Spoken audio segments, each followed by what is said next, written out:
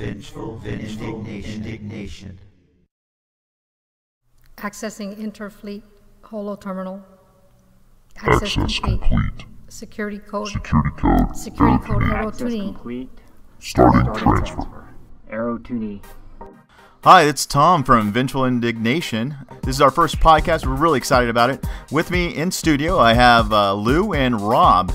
Lou is the other raid leader, and Rob, of course, is our exalted leader. I don't know, not real sure what name he goes by. What what name do you want to be called, Rob? Um, Supreme Commander of Allied Forces. Okay. Uh, yeah. Okay. So anyway, we're not going with that. How about that? All right. Uh, in this first thing, we were gonna go. Uh, we're gonna go over. Uh, we got two two raid groups, by the way. A phenomenal start for the guild, anyway. Um, and uh, we're gonna go over each raid group. I'm gonna go first uh, for group.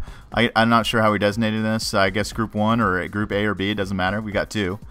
Um, and this week, uh, Group One, or my group, actually went into uh, heroic mode for uh, Eternity Vault. So that was a big step for us. Really, really proud of the people that went in there. Um, we had a little bit of trouble at the start, um, especially with the turrets. Uh, um, I had a plan, and it turned out not to be the best plan. But uh, by the time we uh, revised that plan, it, it, it came out well. Uh, we actually beat everything down to the puzzle. We ran into a problem at the puzzle because um, uh, it actually bugged on us. Um, we weren't able to turn the uh, the uh, the uh, dials like we thought we should be able to. But that's kind of where we left off. Um, so this Sunday uh, coming up, uh, we will be going back in there, and I'm not sure if we're going to keep going on heroic mode. I, this is my plan, um, and Rob will probably counter command me because that's what he does. Uh, and until we get stopped, and then we can maybe flip it back. But I at least want to do the first four or five bosses, however far we can do in heroic mode, to get those Rakata pieces to really kind of gear our folks up, um, and uh, then just work from there. Uh, we went into the uh, uh, the hut hospitality, the new instance with the guy with the crazy hat at the end. Um, we actually didn't. Ha- we ran out of time the last time we were in there. Uh, just got one or two looks at him, and but uh, I think he's going to be pretty easy. What do you guys think about Haragi? You guys have been in there. What do you guys think of him? Oh, he's a pushover. Come on. I haven't actually seen him, so I can't really give you any feedback. But I'm just gonna say he's a pushover just to make you look bad. That's right. He is. Uh, he was a big pushover. Thank God we suck so bad. I blame. Uh, I blame Rob mostly. mostly. Okay. Well. Anyway, Lou, where are you guys at uh, as far as rate type? Well, this is Lou, and again, uh, I'm, I'm, I'm raid leader of Group 2. And we're not Group 2 because we suck worse than Group 1. No, please don't get that. Uh, Number two. oh, excuse me. yeah, we're just number 2. We're number 2 because we had latecomers, and we've decided to run, uh, actually, uh, the guild wanted to be a one eight-man group, but we actually recruited more people, so we decided to uh, come up with a second group, and I'm leading that group. We started raiding last week. We went in on the Sunday only, and we got all the way to Soa.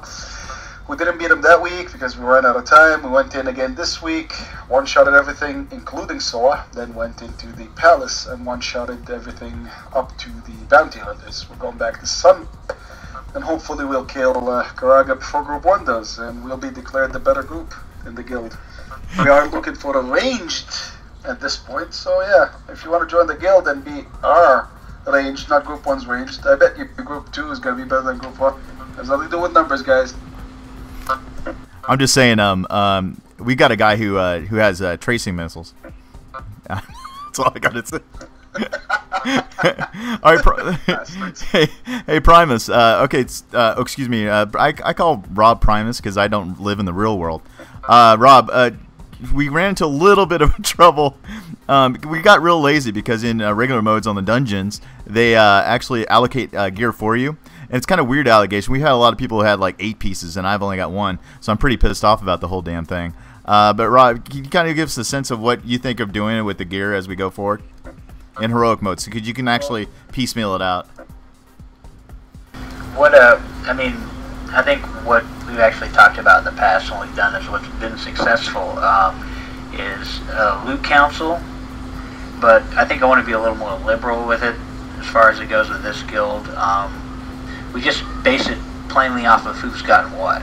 You know, not not so much attendance or performance, but just you know who needs what, but who's you know, like say for instance, you know, in, in regular, I've gotten a ton of pieces, so you know, I would definitely pass for someone else, regardless of how much I get in that, that raid. That's the mentality I, I want to kind of bring. Okay, you you you said a loot council. I I for one don't know what that is. Uh, can you tell us some of our members what you mean by that?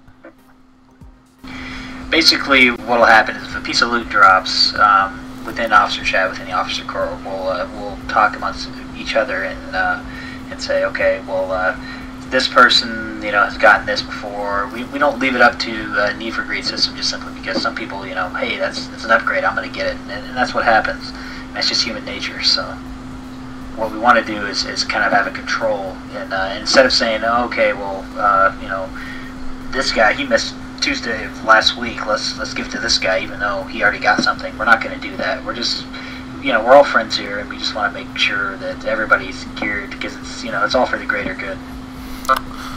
Well, I I think uh, I don't know. Yeah, that's a slippery slope there. Greater good thing, but uh, uh, I think we did well. Uh, the first few weeks out the box, we got two rating groups, guys. Come on, that's pretty phenomenal. So I'm pretty pumped about that already.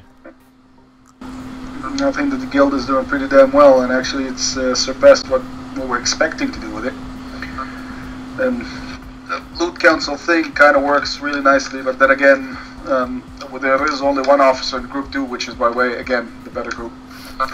So, well, the loot council thing may be a slippery I- slope, just like you said. Yeah. See how it goes. We'll see how it goes. And group one, we really don't need gear because we're all skill based. So I, I really don't see it being much of a problem for group one either. Uh, yeah, group two doesn't need the gear either, but they're all. Uh, oh crap! You said skill based, right? I can't even counteract that. Yeah, yeah, that's okay. We need the You can you can go ahead and copy me, man. It's all right. It's all right.